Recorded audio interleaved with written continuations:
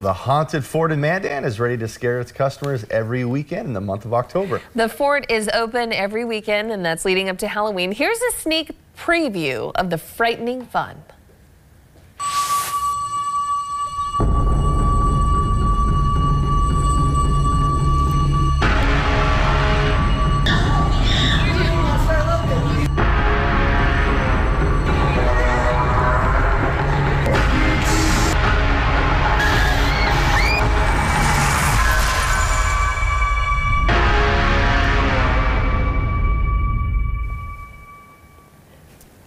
I think you could hear me screaming in the background of that one. But Matt Shenandoah, the executive director of the Mandan Progress Organization, thank you so much for joining us hey, today. thanks Matt. for having me.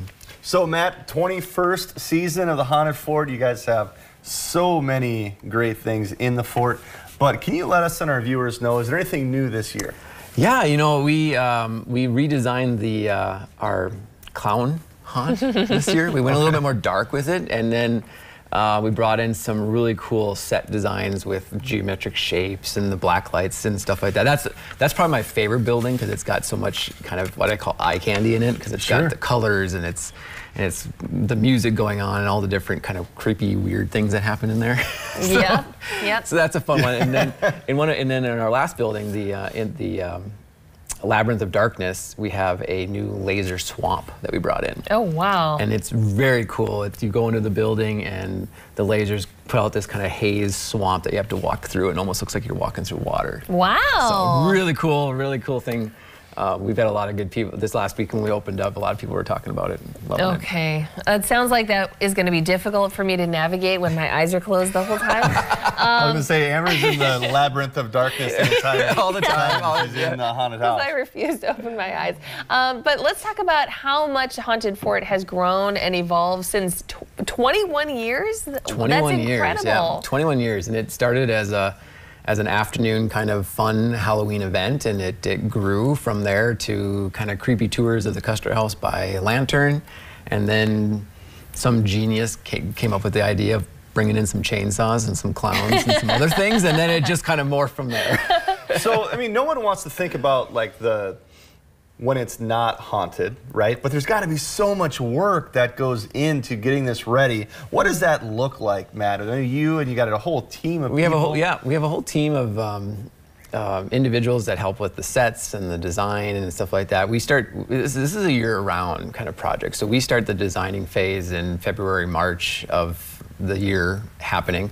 Uh, we go to the uh, Transworld Halloween Attraction Show in St. Louis every year, and we get. Um, fun things that we can find there. We also get taught on safety and and set designs and maze design and all those different things. So we bring a lot of knowledge to the, the playing field when we when we design haunted forts. So there's, it's not just here's a clown in the corner. No. It's that there's a lot of uh, I don't know. What am I thinking of? My Well, brain. It's still. Monday. It's A lot of still Monday. Planning A lot of planning, but you said safety. I Well, know that's got to be important. Yeah, you got people safety, walking yep. through a dark room, Mm-hmm. or they've got their eyes closed, like my dear friend Amber Schatz here. Um, but you had mentioned like the, you know, again. Things that people don't want to talk about, but like the, the chainsaw, right? It's not an actual. I, I asked him. I was like, "Look, is it a real chainsaw?" But it's not an actual chainsaw, and these are props here. Let's check the props out Yeah, for a what second. did you bring? Get, get my friend Amber with the cattle prods. if you would. So these are um, just noisemakers, and, and noisemakers are great for haunted, haunted attractions. This is our cattle prod type of thing. See, Um, look. so we give those to our actors. Wow. Okay, Uh, for that- This next one is scary, though. This is our zombie um, tamer, basically. So the zombies get out once in Oh. a while at the haunted forts. We gotta Yeah. get them back in their in their holding area. So Oh! You see. Oh my gosh. Ah, Stop. Oh my gosh. Oh my gosh. So, I mean, Okay. this obviously showing, and like I said, um, one of the actors actually stopped to make sure I didn't fall down the stairs one time. Right. So obviously safety me, is on the is on everyone's mind. And you have a children's bash. Mm-hmm. What can you tell us about the children's bash? Well, the um, the children's bash is, bash is on um, Sunday, October 22nd, and it's an afternoon of fun at the state park. We have a, a little monsters hike. A lot of the kids come and get dressed up and come to the event. Um, we have like kids games and things like that. And then we do kind of a downgraded tour of the of the General Custer's house there, um, decorated out so they can kind of see what it looks like in the daylight.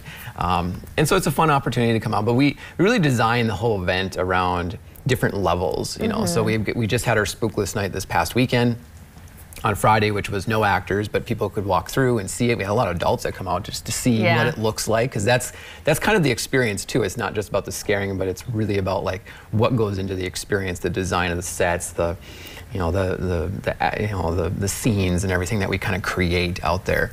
Um, but then we go into our main event, and then at the end of the season, we have our Darkness Unleashed. And so the Darkness Unleashed is we take it to the next level, and we really continue to have the haunt, but we turn all of the lights off Oh. in the haunts, and each member is given, or each guest coming through is given a glow stick as your main source of light to guide you through the event.